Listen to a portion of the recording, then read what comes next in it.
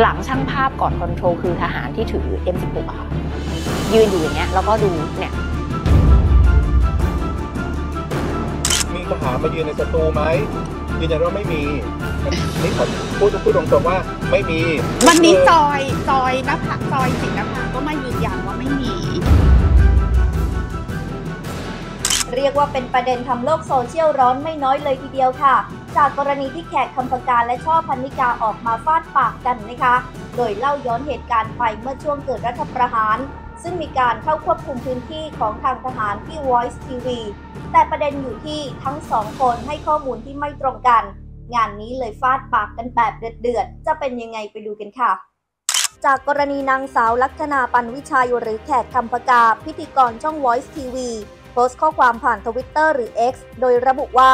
เดี๋ยวนะ ธนาธรโดนกระสุนยางที่สี่แยกคอกวัว ใช่ แต่คือคนไปม็อบช่วงนั้นมีโอกาสได้รับอันตรายแน่ ๆ ส่วนเรื่องช่ออ่านข่าวท่ามกลางทหารเอากระสุนจ่อไม่มีนะคะ ในฐานะคนอยู่ Voice TV มา 13 ปี ช่ออยู่โต๊ะต่างประเทศ ไม่ได้ออกไปทำข่าวเหตุการณ์ใด ๆ ที่เสี่ยงอันตราย เมื่อมีรัฐประหารปี 57 โดนปิดก็คือไม่ได้ไปทำงานกัน เปิดทำการมามีทหารมาเฝ้าตรงห้องคอนโทรลค่ะ ไม่ได้มาถือปืนเฝ้าเราอ่านข่าว ต่อมาช่อพันนิกาวานิชแกนนำคณะก้าวหน้าออกมาโพสต์ข้อความตอบกลับแขกคำพกา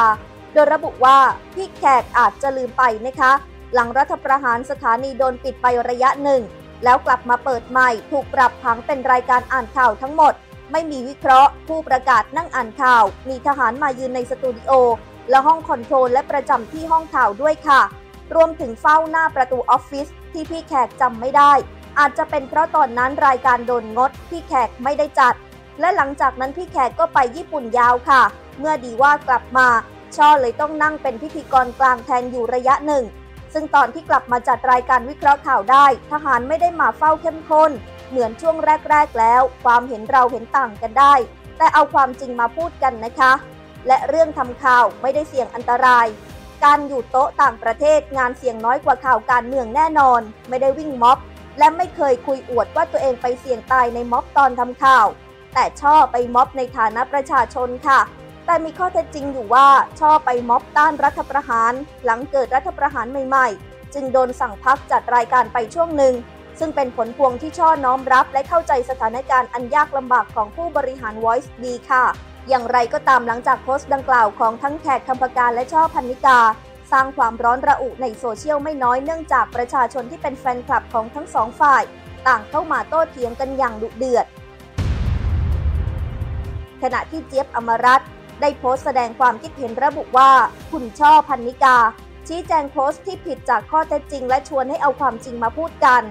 ตัวดิฉันเองครั้งหนึ่งก็เคยถูกพาดพิงว่าเป็นสสขยันแต่โง่ เอาเงินไปประกันม็อบจนหมดตัว โดยผู้โพสต์อาจไม่เข้าใจ ว่าการประกันตัวผู้ต้องหาด้วยตำแหน่งนั้นเพียงใช้แค่ใบรับรองเงินเดือนสสที่ขอมาจากสภาก็สามารถใช้เป็นหลักทรัพย์แทนเงินสด ยื่นประกันได้ในวงเงินสิบเท่าของเงินเดือน ต่อมาช่อพันนิกาได้แชร์โพสต์แสดงความคิดเห็นสนับสนุนความคิดของพี่เอี่ยว อดีตผอ Voice TV ในวันที่มีรัฐประหาร โดยโพสต์ดังกล่าวระบุว่า จะถือปืนหรือไม่ถือปืน จะจ่อหรือแค่จ้องมอง จะพูดขู่หรือแค่ยืน เดินไปมาเฉย เป็นข้อเท็จจริงที่โต้เถียงกันได้ตามประสบการณ์จริงที่คนคนนั้นเจอมากับตัว แต่การรัฐประหารแล้วทรงทหารพร้อมอาวุธประจำในสถานีทีวี คือการคุกคามสื่อที่คนปกติควรเห็นตรงกันล่าสุดนางสาวลัคนาปันวิชัยหรือแขกคำพกาได้รีโพสต์ข้อความดังกล่าวพร้อมระบุผ่าน X ส่วนตัวว่า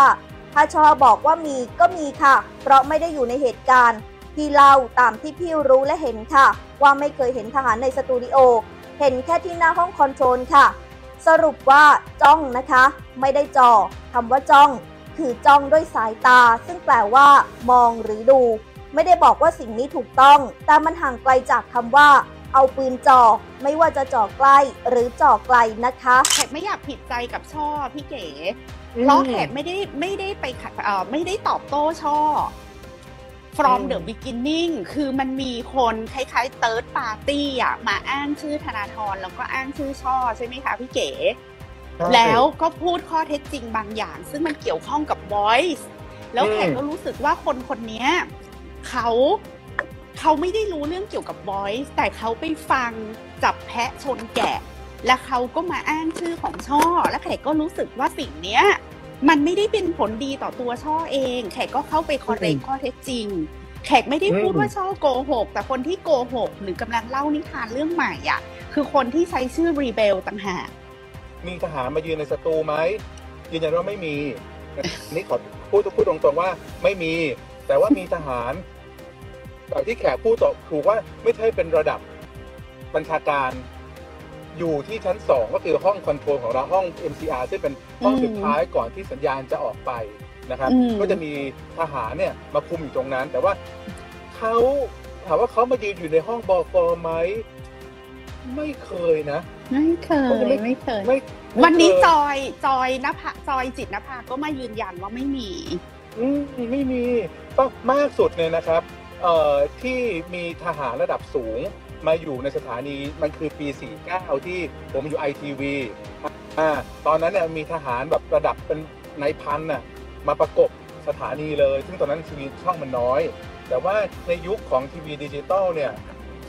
ไม่ไม่มีทหารระดับผู้บัญชาการมา ก็เรียกได้ว่าโต้กลับฝีปากกันไปมาอย่างเดือดเลยทีเดียวค่ะ ใครพูดจริงหรือไม่จริงก็คงมีแต่เจ้าตัวเท่านั้นที่รู้เหตุการณ์ในวันนั้นนะคะ เราก็ย้อนเหตุการณ์กลับไปดูไม่ได้แล้ว แต่จะดูได้ก็คือว่าคุณช่อพันธิกาและคุณแขกคำปากา เปิดศึกปะทะฝีปากกันเมื่อไหร่ เราชาวคนดูชาวโซเชียลก็ได้แต่ปูเสือรอชมเท่านั้นเลยค่ะ